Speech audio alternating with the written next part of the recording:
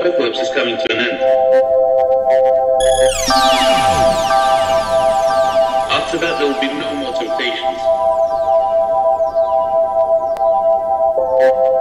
People will suffer from hunger. They will eat each other.